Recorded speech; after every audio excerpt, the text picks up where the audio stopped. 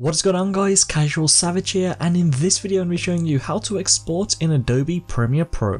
Now just before I get into this video, if you'd like to request a tutorial, then be sure to leave it in the comments below or ask me on Twitter. So as you can see I have Premiere Pro opened and this is actually a clip from yesterday's tutorial where I show you how to freeze frame in Premiere Pro and now we're actually going to export it.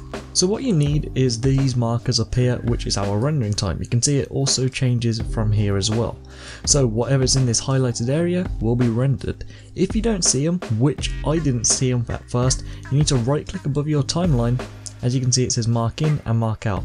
So you would right click and select mark in, then you would right click again at another place and select mark out. From there you'll get these two markers. So from there you can come to file, export and media. So this is what should come up and very quickly before we actually get into the settings, as you can see over here, we have the video we're about to render and you can go through it and you can also choose your render regions from here as well. So as you can see these little triangles, if I bring this in, that is now the render region. So I cut out the start and you can do the exact same to the end as well. For example, it's just black here, so I'm going to bring that back and I'm going to bring it back up to here when the water is off screen, like that. So that is now my render region. Now for the format, I recommend H264 at the moment preset is set to custom because I've already changed the settings, however we're going to come all the way down.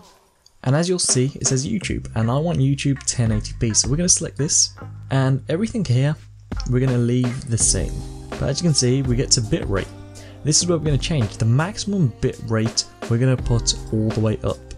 Now, the target bitrate, this will make your file size increase. At the moment at the bottom here it says estimated file size is 32 megabytes. You'll see if I bring up the target bits rate, it goes up to 77 and it'll just keep going up the more we slide up.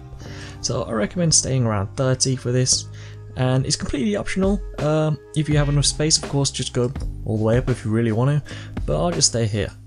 Then if we come down more, you can just leave these the same. Of course if your video is in VR, you can add that. We're then going to head over to the audio tab and here we're going to leave everything the same and we also have a very good bitrate at 320 which is going to give you the best audio quality. The next thing we're going to do is come here and select use maximum render quality so this is going to get the best out of your video. Then we can simply select export and now it's going to be exporting. As you can see it's very very quick to do. Uh, it is a short video. I believe it's 16 seconds as you can see right here. So again it's not going to take too long. So it just got done and I'm going to go to the folder where I saved it which is right here. And if I just open this up here it is. It estimated 60 megabytes. It actually went to 61.5 megabytes so it was fairly close. And let's just open this up. There's going to be no sound but as you can see very clear HD render. And this is the freeze frame it's not uh, it's not um a problem with it rendering that is how I made the clip. Now one last thing I want to show you very quickly which I forgot and I apologise for not showing you. When you come to file and export and then media, to choose the location as you can see it says output name, you select this and you choose wherever you want to, maybe the desktop for example, you can choose the file name, so let's just go with example and then you select save and from there you've picked where the output file will be.